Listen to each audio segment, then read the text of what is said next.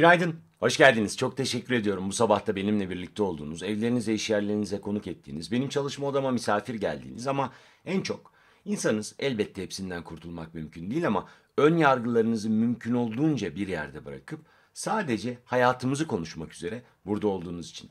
Sağ olun, var olun. Dünyanın neresinden katılıyorsanız bu yayına ve bulunduğunuz yerde insanlar birbirlerine hangi dilden günaydın diyorlarsa o dilden günaydın dediğimi varsayın lütfen.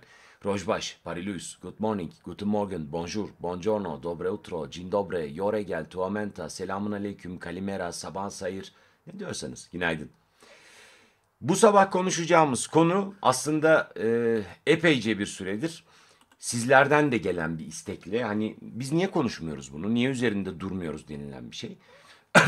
Biraz gerekçesi şuydu. Daha önce aslında bir iki cümleyle anlatmaya çalıştım ama şimdi Meral Akşener'in ve onunla birlikte e, aslında partide MHP içinde simgeleşmiş isimlerin partiden koparılma süreciyle birlikte bir harekete geçecekleri belliydi. Şu yayını paylaşalım unutmadan sonra unutacağım çünkü aşağıdaki 3 noktaya dokunun yayını paylaş sonra nerede paylaşmak istediğini soracak ve yayınla diyeceksiniz. Bu hareket başladığı andan itibaren partileşmelerini biraz beklemek gerekiyordu. Çünkü bugüne kadar yaşananların tamamı bize şunu gösterdi ki e, bu tarz hareketlerde, bu tarz çıkışlarda eğer siyasette gerçekten yol ayrılmadan devam edilecekse çok fazla bir yere ulaşmak mümkün değil. Yani siyaseten birlikteliğin tamamen kopması değil burada önemli olan. Kopan kişilerin o birliktelikten sonra kendilerine yeni bir yol çizip çizmeyecekleri siyaseten.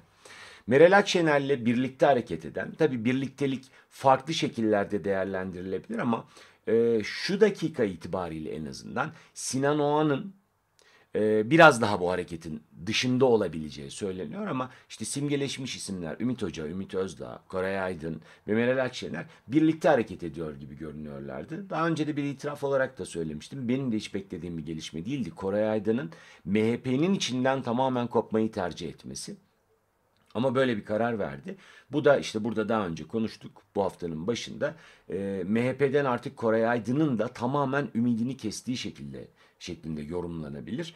E, şu dakika itibariyle de bu son saydığım e, üç isim birlikte hareket edecekler. Yeni bir partiden bahsediliyor. İsmi ne olacak bilmiyoruz. Yeni parti kaldı zaten şu anda üstünde. Ben olsam hani isim tescillidir muhtemelen ama e, yeni parti ifadesiyle de bu devam edebilir mi edemez mi bilmiyorum. Ama biraz yapı belli olduktan sonra Kore Aydın bence de çok zor bir karar verdi. Bu çok ciddi bir tercih. Çünkü MHP'nin içinde daha önce de genel başkan adaylığı açıklamış. Bununla ilgili kampanyaya başlamış. E, bayrak çekmiş insanlardan bir tanesi. E, o nedenle hani partiden kopma süreci artık partinin tamamen partiye hevesliler tırnak içinde söylüyorum bunu. Partiye hevesliler tarafından da vazgeçildiği şeklinde. Şimdi e, Meral Akşener'in bu saatten sonra izleyebileceği yol ne olacak? Bir kere şu biraz yanlış gidiyor bana kalırsa. E, uyarmak değil elbette anlatmaya çalıştığım hikaye. Sonuçta onlar karar verecekler, onlar yapacaklar. Başka bir siyasi yol bu. Ama şu açıdan biraz erkenci davranıldı ve biraz tufaya düşüldü gibi. Bu sonrasında sıkıntı yaratabilir. E, Koray Aydın'ın hemen yaptığı bizim 2019 için adayımız Meral Akşener açıklamasını ben çok doğru bulmam. Çünkü e, bu süreç içinde şunu söyleyecek değilim. Hani adı açıklanan kişi yıpratılmaya başlanacak falan gibi ezber cümlelerden e, ötürü değil. Öyle bir şey değil. Yani isim o kadar sağlam olur ki koruyacak bir takım dengeler, unsurlar bulursunuz kendiniz. Ama Böyle bir isim açıklandıktan sonra partinin siyasi birlikteliğinin nasıl yürüyeceğini de ifşa etmiş oluyorsunuz siz. Yani biz tek başımıza, tek tabanca gideceğiz ve 2019 için bir aday çıkartacağız. Bunun için bir siyasi oluşumun içindeyiz izlenimi kamuoyunda doğrulabilir ve şimdi bunun üzerinden asıl anlatılmaya çalışılan yıpratma başlarını başlayabilir. Türkiye gibi bir ülkede daha önce biz kadın başbakan gördük Tansu Çiller döneminde. Ama mesela Cumhurbaşkanlığı makamı gibi bir durumda özellikle muhafazakar çevrenin ben hiç samimi davranacağına inanmıyorum. Hiç. Bugüne kadar bunun benzer örnekleri yok. Yani başbakanlığa kadar getirilen, getiren süreç bir kadını siyasette e, çok fazla siyasi dengeler e, öne çıkmasıydı bana kalırsa. Yani seçmen tercihinin bu böyle olacak demesi falan değil de sağ siyasette ben o samimiyeti görmüyorum.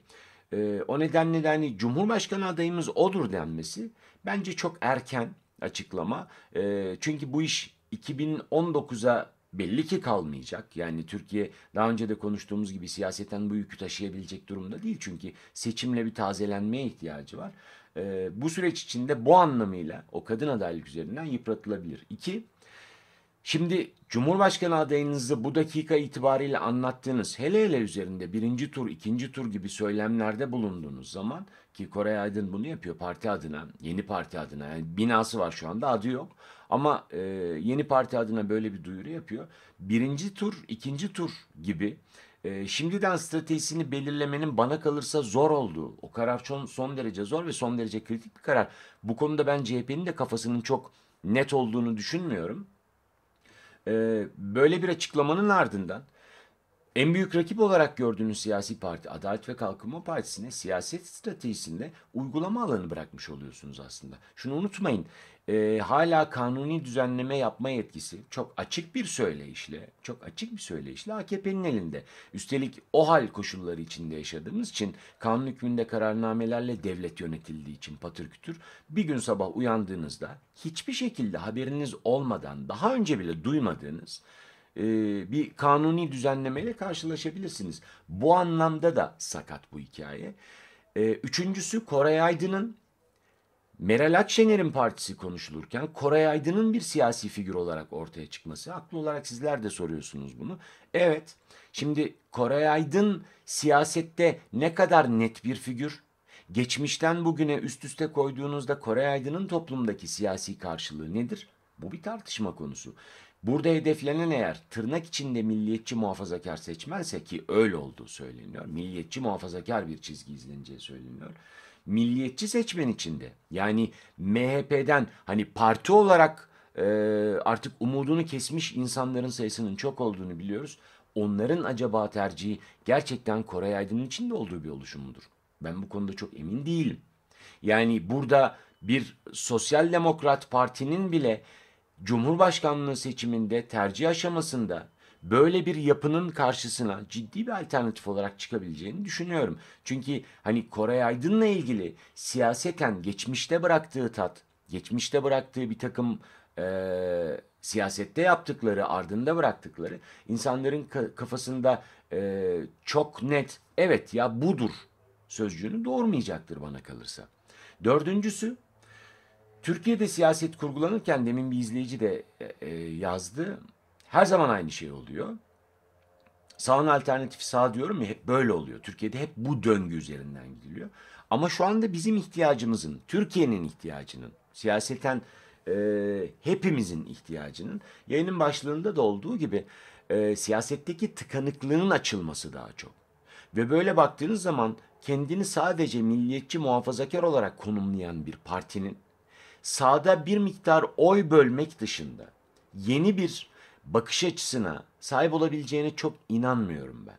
Çünkü şu anda ihtiyacımız olan şey bütün bakın Avrupa'nın siyasetine de Amerika'da Trump deneyimiyle yaşanan e, yeni o oluşuma da hepsine bakın muhafazakar söylemlerin ötesinde sert milliyetçi söylemler her ne kadar toplumsal tabanda bir takım etkenler nedeniyle karşılık bulur gibi görünse de aslında herkesin kafasında yepyeni sorular doğuruyor. Herkesin bir tedirginliği var. Çünkü dünyada yükselen milliyetçilikle beraber sadece ulus devlet potansiyelinde değil evrensel bir milliyetçiliğe artıını biraz kaşırsak maalesef ırkçılığa doğru da doğrudan koşar adım bir gidişat var. Böyle bir algı sadece hani geçmişte milliyetçi taban içinde olmamasına rağmen milliyetçi muhafazakar seçmen olarak davranmış. E, seçim davranışını, oy davranışını bu şekilde şekillen, bu şekilde oluşturmuş insanların. Bundan sonra çıkış olarak böyle bir partiyi görebilecekleri konusunda da benim ciddi şüphelerim var. Böyle bir durumda sanki 2019 için hani hedeflenen şey burada Adalet ve Kalkınma Partisi'nin iktidarının sonlandırılması ise eğer bu siyasi partiler açısından doğru bir strateji izlendiğini ben düşünmüyorum. Çünkü şu anda asıl izlenen strateji, asıl doğru götürülen strateji bence toplumun tamamını algı, anlayabilecek, toplumun tamamını kucaklayabilecek bir siyaset üzerinden gitmek. Bu da e, milliyetçi muhafazakar bir değerle çok fazla açıklanabilecek bir şey değil. Kuşkusuz şunu söyleyecek e, içinizden pek çoğu. İyi de bu ülkenin her zaman söylendiği gibi işte neredeyse yüzde altmışı sağa oy veriyor. Tamam sağa oy veriyor da şu anda bizim geldiğimiz nokta sağdan soldan öte adalet üzerinden yürüyen bir tartışma. Toplumsal gelişimin durmasından bahsettiğimiz bir tartışma. Ve eğer siz bunlara sadece milliyetçi muhafazakar çözümle giderseniz kendini muhafazakar demokrat olarak tanımlayan ve 15 senedir iktidarda olan bir partinin karşısında çok fazla alternatif olma şansınız yok. Aynı seçmeni oynuyorsunuz demektir.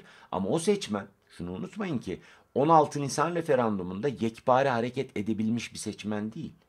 Yani orada hepimiz bal gibi biliyoruz ki %48 ile 52 oylar değişik çıktı. Tam ters potansiyeller onlar. Yani bize %48 diye açıklanan oyun %52 hatta belki %53 olduğunu hepimiz biliyoruz. Bütün dünya biliyor zaten. E iş böyle olduğu zaman sizin anlatımınız sadece milliyetçi muhafazakar söylemli olmaz. Olmamalı. Sadece 2019'a biz kadın adayla gideceğiz ya. Meral Hanım'ın toplumda karşılığı var falan diye olmamalı. Sadece Cumhurbaşkanlığı üzerinden bu tartışma gitmemeli. Çünkü tam yayının başlığında anlatmaya çalıştığım gibi ee, evet evet Bürmüz Dağları'nın söylediği gömlek değiştirmeden mümkün değil bu. Çünkü bu milliyetçi muhafazakar gömlek. Kendini toplum içinden çok muhafazakar demese bile milliyetçi olarak tanımlayan insanların da yıldığı bir şey artık. O kavramın altı boşaltılmış durumda. Şu anda siyaseten söylenecek şey bu değil.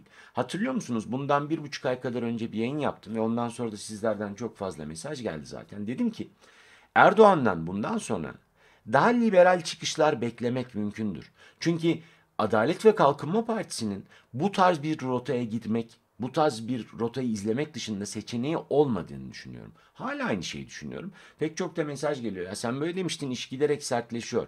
Ama şu anda liberal politikalardan kastım bugüne kadar hepimizin siyasi anlamda hani genel geçer tabirle bildiğimiz liberalizm değil.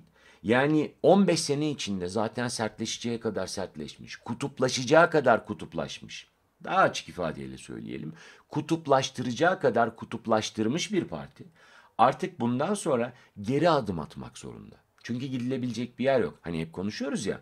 Bakın Erdoğan'ın atletle ilgili söylemi toplumda sadece AKP'nin siyasi tabanında değil, dikkatinizi çekiyorum. Toplumda sadece saraya davet edilen muhtarlarda karşılık buldu. Sadece.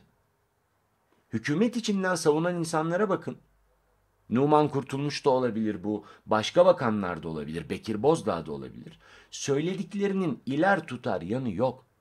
Kendileri de farkındalar bunun. Bunun doğru bir fotoğraf olmadığını düşünüyorum. Neden anlat? İşte halkın karşısına öyle çıkılmaz. Ya halkın karşısına öyle çıkılmazı var mı? Halkın karşısına çıkmak burada önemli olan. Dokunabilmek, siyaset dokunma işi çünkü. Tuttuğunuz zaman insanlarla sıcak teması sağladığınız anda siyasetiniz yürümeye başlıyor. O fotoğraf verilir mi? Biz ne fotoğraflar gördük ya? 15 tane aynı partinin milletvekilinin bugünün daha bir sene önce Türkiye'ye en büyük kötülüğü yapmış terör örgütünün başının yanında el pençe divan gördü, durduğunu gördük. Şimdi bu fotoğraf mı bozuk? Atletli fotoğraf mı? Düşünelim. Hangisi toplum nezdinde daha çok karşılık buluyor? İşte sorun bu. Bu yüzden atlet Türkiye'de siyasi dengeleri bir anda kaldırıp atabiliyor. Çok hem de çok temel bir şekilde kaldırıp atabiliyor. İş böyleyken, toplumsal karşılığını görmüşken işi sadece milliyetçi muhafazakar değerler üzerinden kurgulamak bana kalırsa çok ciddi bir hata. Bu siyasette hani Erdoğan'ın çok sık kullandığı ifadeyle e, eski siyasetin devamı. İnsanlarda bunun karşılığı yok. Oysa şu anda herkes çok çok net bir şekilde kucaklayıcılık istiyor. Bunun sağdan veya soldan gelmesi değil önemli olan. Çünkü şu anda bir kez daha söylüyorum. Türkiye'de ihtiyaç olan, şu anda ihtiyaç olan ideoloji değil. Kalmadı zaten. Bakın ideolojisini savunan bir siyasi parti görüyor musunuz? Hayır. Yok öyle bir ideoloji. Şu anda insanların temel bir sıkıntısı var. Adalet. Bizim ülkemizde adalet yok. Bizim ülkemizde adalet yok. Bu dört kelimelik cümle aslında hayatımızın temel açıklayıcısı. E hal böyleyken siz çıkıp sadece milliyetçi muhafazakar değerler üzerinden vurgulama yapmaya devam ettiğiniz sürece toplumsal karşılığınız düşecektir. Böyle baktığımız zaman siyasetteki tıkanıklık Meral Akşener'le çözülür mü? Şüpheliyim. Ama şunu unutmadan söylüyorum bunu. Uzun süredir sağ siyasette var olan o atalet duygusunun içinde, atlet değil atalet duygusunun içinde e, insanların yeni bir arayışı var. Ama bakın bu romantik bir arayış olmamalı. Çünkü eğer sadece hani 16 e, Nisan referandumunun içinde burada da konuşmuştuk ya AKP'lilerin içinden de benim 2002'de 2001'de kuruluşunda bulunduğum işte sonrasında iktidara geldiğinde desteklediğim devamlı oy attığım parti bu parti değil diyerek hani nasıl cezalandırmak üzere hayır cephesine geçenler varsa şimdi bu anlamıyla baktığınızda milliyetçi muhafazakar değerler üzerinden 15 yıldır yürümüş bir ülkede artık sıkıntıdan sosyal demokrasiye oy verecek partililerin ciddi anlamda hem de partililerin ya da seçmenlerin olabileceğini de çok hava civa bir düşünce olarak görmemek lazım. Bu tarz bir açıklama kamuoyunun önüne sadece tek bir zeminden, e, tek bir taraftan yürüyerek çıkmak çok akıllıca bir şey değil. Ve bu çıkış hani bugünlerde medya tarafından bir parça görülüyor. İşi nasıl dengesini belirleyecek olan o çünkü. Mesela buna, bu bakışa e, medyanın desteği ne kadar olacak? İki, daha önemlisi, çok daha önemlisi siyaset finansmanı zor bir şey çünkü. Mesela iş dünyasının buna yaklaşımı ne olacak? Ben size söyleyeyim. Ne Türkiye Odalar ve Borsalar Birliği'nden ne TÜSİAD'dan açık açık böyle bir partiye siyasi destek olmayacak. Şöyle bir şeyi öngörmek mümkün. Ee, kendisi de kurucuları da e, şu andaki yönetimi de sağa çok daha yakın olan mesela Türkiye Odalar ve Borsalar Birliği geçmişte e, bir parça doğru yol çizgisinde ilerlediğini hepimizin bildiği Rıfat Sarcıklıoğlu ve çevresindeki kadro mesela sağ söylem içinde çok rahatsız olmayacaktır Meral Akşener ve partisinden ama bunu söyleyemeyecektir. Bunu anlatamaz ki iş dünyası. Belki TÜSİAD'dan hani siyasette yeni bir canlanma olacaktır. Bu önemlidir falan gibi açıklama duyulabilir ama siyasetin finansmanı anlamında böyle bir katkıyı yakalamak son derece zor. Yani ez cümle atacak kurşunumuz çok az. O yüzden sağa sola sıkmamak lazım. Mesela bugünkü e, çıkış, bugünlerde yaşanan çıkış medya tarafından biraz görünür, görünür olmak açısından belki e, anlaşılabilir ama yarın için bu desteğin olmayacağını düşünmek zorundayız hepimiz. Medya bu haberleri şimdi Koray Aydın'ın çıkışıyla birlikte ilginç bir durum var çünkü. Koray Aydın'ın çıkışıyla birlikte şu anda görünür hale getirdi adı olmayan yeni partiyi. İyi ama şunu unutmayalım.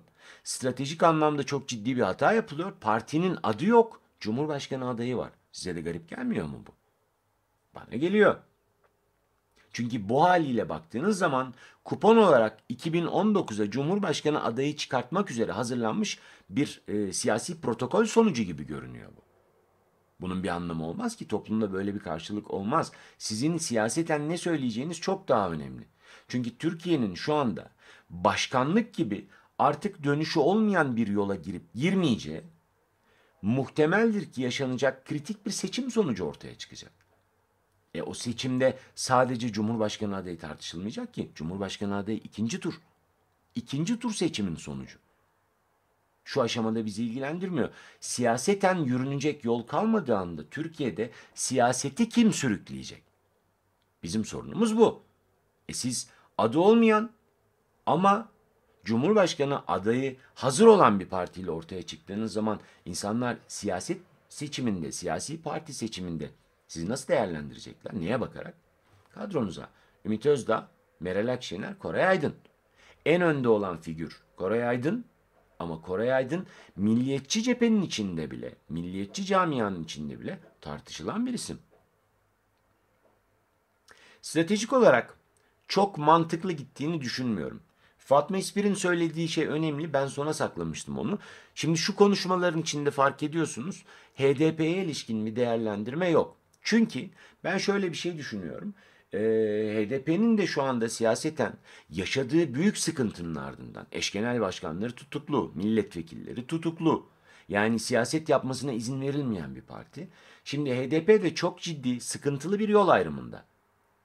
Partinin içinde mesela Sırrı Süreyya Önder gibi öz eleştiri verip, öz eleştiri verip ardından da e, biz daha iyisini yapabilirdik diyerek siyasete veda edeceğini söyleyen insanlar aslında HDP'nin bundan sonra gelebileceği yol için, düzlem içinde bize biraz fikir veriyor. Ama şunu çok iyi biliyoruz ki hem e, İçişleri Bakanlığı döneminde hem kamuda üstlendiği diğer görevlerde Kürt halkında Meral Akşener'in karşılığı yok. Var da iyi bir karşılığı yok. O zaman siz sadece siyaseten, sadece ve sadece milliyetçi muhafazakar kesimi oynayacaksanız bu yanlış. Bu çıkış yanlış bana kalırsa. Böyle bir karşılık bulma şansı yok bunun siyasette. Parti siyasete muhtemelen bir soluk getirecektir. Ama önce ne yapmaya çalıştığını çok net bir şekilde anlatması, hatta bana kalırsa önce anlaması gerekiyor. Bugün Türkiye'de kucaklayıcı bir siyasete ihtiyaç var ve şunu unutmamak gerekiyor ki siyaset yapacak insanların tamamının ideolojik bir söylemden önce kucaklayıcı bir söylemi öne çıkartması zorunluluğu var. Çünkü ülkeyi yönetenlerde sadece sözde bir kucaklama görüyoruz biz. Ayrımcılık sonuna kadar devam ediyor. Sonuna kadar hem de. Yani insanlar e, Kürtlüğünden, Aleviliğinden, ne bileyim işte başı açıklığından, içki içmesinden, camiye gidip gitmemesinden 500'e bölünmüş durumda zaten. Ve sürekli olarak körükleniyor bu. O zaman bunun karşısına çıkacağınız siyaset bu olmamalı. Tam böyle bir noktada kim daha çok kucaklayıcı olursa, toplumsal karşılığı kim daha çok verecek olursa ve siyasetten bu kadar sıkılmış, siyaseti 15 senedir Erdoğan yönetiminde gördüğü şey zanneden insanların karşısında söylem bu olmamalı. Çünkü bu söylem sadece mesela bunun gibi tiplerin işine yarıyor. Ama gidebileceğinin farkında değil. Çok daha net, bugünün sorunlarına çok daha rahat adres, adres gösterebilen, yani bizim temel sıkıntımız adalet kardeşim.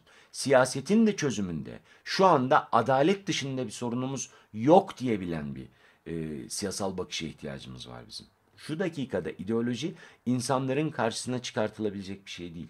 Maalesef değil. Olsa, keşke olsa. Ben bunun sıkıntısını çok yaşıyorum ve anlatıyorum size sürekli. Yani ideoloji savunan bir parti yok. Çünkü ideolojiyi savunabilmeniz için insanların karşısına bütünsel bir yapıyla çıkmak zorundasınız. Şimdi genel geçer, günlük böyle hakikaten çok basit şeylerle anlatabiliyorsunuz derdinizi. İnsanlar takılıyorlar peşinize. Ama bunlar diyor ki bunun devamı yok. O günlük, yarın, öbür gün ne olacak? E karşılık yok. Ama siz oynayacağınız yere yani benim müşteri kitlem, benim hedef kitlem milliyetçi muhafazakar. Öyle olmuyor işte. Bugün Türkiye'de öyle bir siyasal durum yok, öyle bir siyasal platform yok. Bugün Türkiye'de herkes tarafından kucaklanılmayı bekleyen, siyasetten yılmış, sadece televizyonlardaki uyduruk, çakma, 6. sınıf programları değil, ağzından çıkan ilk kelimeyi duyduğu anda televizyonun kanalını değiştiren insanlar yaşıyor. Bunu görmeden yapılamaz siyaset. O nedenle işte anlatmaya çalıştığım hikaye haftanın başından beri hani o e, sevgili Selahattin'in fotoğrafından sonra e, ortaya çıktığı gibi bir tane atlet, bir tane atlet hayatı darmadağın edebiliyor mesela Türkiye'de. E bunun siyaseten bir karşılığı yok ki. Neden böyle yaşanıyor o zaman? Üç gündür konuştuk işte. Şimdi durum böyleyken siz buraya çıkıp ben sadece milliyetçi muhafazakar, işte milliyetçi muhafazakar insanların oyuna talibim diyemezsiniz. Hele kadronuzla ortaya çıktığınızda size oy verecek insanlar hiçbir şey anlatamayacak. Ama siyaseten bir tıkanıklık var Türkiye'de uzun süredir var. Biz de konuşmaya devam edeceğiz zaten. Çünkü bu işi doğru analiz etmek, doğru tahlil etmek zorundayız ki çözümün ne olabileceği konusunda fikir paylaşalım. Ee, bu iş tıkanıklığa çözüm bu haliyle olmaz bana kalırsa. Bence yanlış bir strateji uygulanıyor. Şu anda biraz hani MHP'nin içinden ayrılmaya, ha ne güzel söylemiş bakın KSK yaşlısı, Karşıyaka yaşlısı. Yeni bir MHP'ye ihtiyaç yok. Doğru. Aynı figür anlatmaya çalışıyorsunuz siz de. Aynı figür. Bir farkınız yok ki. İyi de o tıkandı bitti zaten. Fiilen bitti şu anda bir, bir şey yok. Yani bu adamların görevlendiği, e, görevlendirildiği, ona buna saldırtıldığı, kendi işlerinde tasfiye sürecinin başladığı bir e, mecburi yeniden yapılanma süreci yaşıyor Adalet ve Kalkınma Partisi. Ve bunun karşısına alternatif olarak çıkacak parti sadece onun oyuna değil. Çünkü onun oyu siyaseten yılgın bir kitlenin oyu. Her an başka bir tarafa kayabilecek bölümler barındırıyor içinde. O kitleye değil toplumun tamamına hitap edecek bir yapı oluşturmalı. Ama şu dakika itibariyle değil. Bu konuyu konuşmaya devam edeceğiz. Etmek zorundayız. Çünkü siyaset Türkiye'de yeni bir hal alıyor. Yeni bir şekil alıyor. Almak zorunda.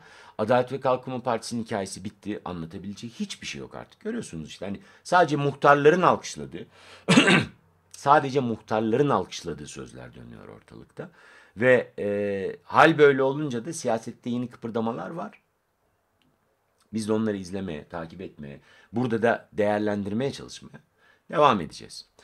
Çok teşekkür ediyorum bu sabah da benimle birlikte olduğunuz için, e, evlerinize, iş yerlerinize konuk ettiğiniz için. E, bu yayın sürsün ben ne yapabilirim diyenler için biriniz yazar mısınız? Patreon.com, patron kelimesindeki R ile O arasına E koyacaksınız bir tane. Patreon.com'da Ünsal Ünlü e, adına katkılarınızı iletebilirsiniz. Orada göreceksiniz. İki, iTunes'a, SoundCloud'a, YouTube'a, Patreon'a abone olun. Paralı pullu şeyler değil bunlar. Ee, sadece mail adresinizi yaz, yazacaksınız ve yayınlardan erken haberdar olacaksınız. 3. ünsal.ünsalünlü.com mail adresine bir mail atıp katkının başka yöntemi ne olabilir?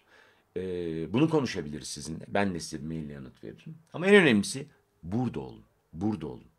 Cengiz gibi olmayın mesela. Cengiz'in kafa beton. Cengiz şöyle düşünüyor. Ünsal sen Alevisin ve düşüncelerin hep yanlı buna emin. Onun sonunda bir imda olacak. Cengiz önce onu topla tamam ondan sonra yine gel. Burada olun. Oturalım konuşalım. Oturalım konuşalım. Çünkü evet hayat ayrı yerlerden bakıyoruz. Evet siyasi görüşlerimiz çok farklı. İşte etnik köken farklılıklarımız var. Cinsel yönelim farklılıklarımız var. Var oldu var. İyi ki de öyle. E öyle olmasa herkesin birbirine benzeyen, benzediği e, bir toplumda yaşamak ne kadar dandik bir hayat olurdu bir düşünsenize. Tabii ki farklı olacağız. Bin tane fikir yarışacak, bin tane çiçek açacak. Onun içinden doğruları toplayacağız. Uzlaşmak zorunda değiliz ki, konuşmak zorundayız. Konuşmazsak uzaklaşacağız. Uzaklaşırsak bizi ayırmaya çalışanlar. Süper kalplerin bir katkısı varmış. Ya şu soruya bir cevap vereyim ne olur. Unutuyorum hep sonda geliyor çünkü. Arkadaşlar süper kalplerin bir faydası var. Ama ne zaman var onu bilmiyoruz da. Çünkü e, skop, periskop adına ne derseniz deyin. Onlar henüz e, bu kullanılacak. Evet yani bu birikiyor. Bu yayına katkı olarak birikiyor. Mutlaka bu sana dönecek diye bana e, yanıt veriyorlar ama e, ne zaman sorusunu yanıtlamıyorlar. Sizden ricam şu süper kalp uygulaması. E, bir dakika şu arkadaşı bir şutlayayım da şöyle gelişine bir vurayım hem de. Süper kalp uygulamasına ilişkin olarak Scope'da periskop uygulamasında görüyorsunuz. Oradaki e, yardım, danışma gibi bölümler var. Oraya mail atın ve sorun bunu. Ya biz böyle bir katkı yapıyoruz kardeşim ama bunun karşılığı nereye gidiyor? Biz bilmiyoruz bana bunu anlatmak zorundasın deyin. Ve e, oradan alacağınız yanıtı da benimle paylaşın. Çünkü benim onlara yayıncı olarak sorabileceğim soru kısıtlı. Bunun bir faydası var mı? Onlar diyorlar ki evet var. Ne zaman? Bilmiyoruz. Ama siz bunu sorarsanız kullanıcısı olarak size yanıt vermek zorundalar. Tamam Ben bir 45 dakika sonra burada olacağım gazetelerle. Eğer uygunsanız bekliyorum. Yazdıklarını, yazamadıklarını, atılan taklaları falan, güzel fotoğraflar var. Singapur'dan böyle kafelerden çekilmiş falan. Çok güzel, acayip kıyak fotoğraflar var. Uslu çocukların soruları var. Hani uçaktaki yetmemiş ya bu arada başka bakanlara da soralım hocam. Aman başka şeyler de olabilir falan diye takılmaları var. Saçma sapan basenden sallanmış haberler var. Çok ağır haberler var. Selahattin Demirtaş'ın dosyasının ortada kalması gibi haberler var.